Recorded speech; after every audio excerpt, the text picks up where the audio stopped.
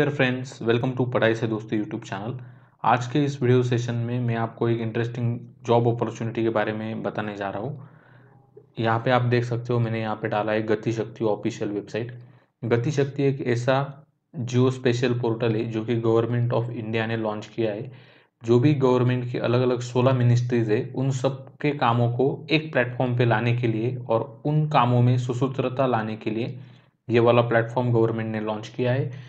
तो मैं यहाँ पे उसके ऑफिशियल वेब पेज पे जा रहा हूँ। आप यहाँ पे देख सकते हो ये है गति शक्ति का पेज यहाँ पे ओके और ये जो गति शक्ति का पूरा प्लेटफॉर्म है, ये प्लेटफॉर्म गवर्नमेंट एक और एटोनोमस बॉडी है, उसके साथ मिलकर रन कर रही है। उसका नाम है बाइसन बाइसैक एन तो इसका फुल फॉर्म क्या है, ये हम, ये भी हम देखेंगे, लेकिन फ़िलहाल मैं यहाँ पे क्लिक कर रहा हूँ। आप दूसरे उसके ऑफिशियल वेबसाइट पे जाएँगे।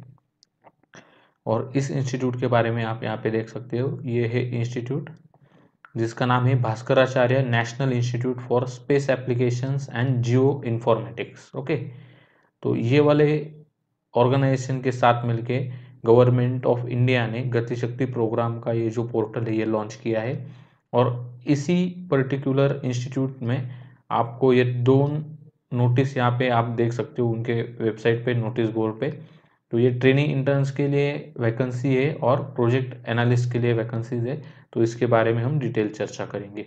तो चलो स्टार्ट करते हैं दोस्तों। सबसे पहले तो हम देखेंगे job description related to project analyst. तो प्रोजेक्ट एनालिस्ट या प्रोजेक्ट इंटर्न का जो जॉब है, उसके रिलेटेड जो नोटिफिकेशन है गतिशक्ति पोर्टल पे, उसके बारे में हम देखते हैं। तो दोस्तों, ये जो Bhaskaracharya national institute for space application and geo informatics है तो इस इंस्टीट्यूट में प्रोजेक्ट एनालिस्ट का ये जॉब है।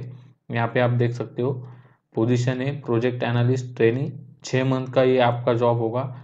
यहाँ पे दस हज़ार पर मंथ स्टाइपेंड दिया जाएगा और इसको अप्लाई करने की जो लास्ट डेट है वो है फिफ्टींथ ऑफ़ दिसंबर 2021 ओके? आपको क्या करना है, आपका जो सीवी है, इस मेल आईडी पे आपको भेजना है। After successful completion of three months training और internship in case any recruitment or vacancies arises under the project BISAC N may hold an assessment test and interview to hire suitable trainee or intern at fixed remuneration on contract basis तीन महीने के बाद दोस्तों यदि इस particular organisation में कोई vacancies निकलती है तो वो लोग पहले जो आप as a trainee project trainee लगे हो तो पहले आपका इंटरनल टेस्ट और इंटरव्यू लेंगे और उसके बेसिस पे वो वैकेंसी फिल करने का प्रयास करेंगे, ऐसा यहाँ पे उन्होंने बताया है। यहाँ पे आप देख सकते हो जॉब रोल आपका क्या होने वाला है जॉब को ओवरव्यू यहाँ पे दिया है और जॉब की रिस्पॉन्सिबिलिटीज के बारे में भी यहाँ पे डिटेल में दे रखा है ओके रिक्वायर्ड क्वालिफिकेशन आपका एजुकेशन क्वालिफिकेशन और आपको क्या स्किल्स होने चाहिए इस जॉब के लिए उसके बारे में यहाँ पे दिया गया है। आप देख सकते हो दोस्तों, अगर आप बैचलर ऑफ़ इंजीनियरिंग आपने किया है बीटेक किया है बीबीए किया है बैचलर ऑफ़ बिज़नेस एडमिनिस्ट्रेशन उसके अलावा बीएमएस या बीबीएम किया है तो आप इस पर्टिकुलर जॉब के लिए एलिजिबल हो।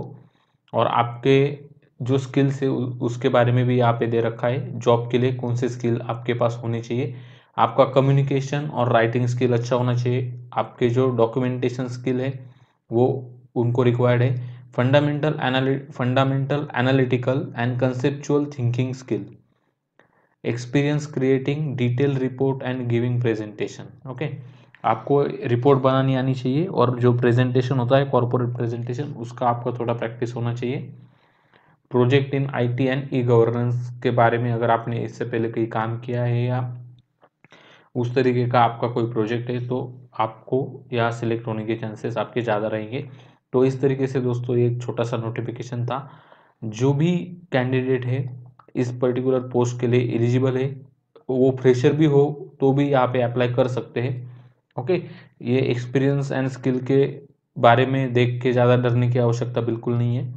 ये स्किल आप में ऑलरेडी होते हैं, जिन बंदे ने ग्रेजुएशन किया है तो धीरे धीरे वो स्किल और अच्छे होते जाते हैं, निखरते जाते हैं okay do apply for the post if you have this particular degree in your graduation BE in any field BTech in any field BBA BMS और बीबीएम ओके तो ये डिग्री अगर आपके पास है तो डेफिनेटली यहाँ पे अप्लाई कीजिए। अगर आप फ्रेशर है तो भी आप अप्लाई कर सकते हो। आपको ये स्टाइपेंड मिलेगा। छः मंथ के लिए ये प्रोजेक्ट एनालिस्ट का जॉब आप ले सकते हो। ओके तो यही था दोस्तों आज का वीडियो मिलते हैं दोस्तों हमारे ऐसे अगले इन्फॉर्मेटिव सेशन में। धन्यवाद। Have a great day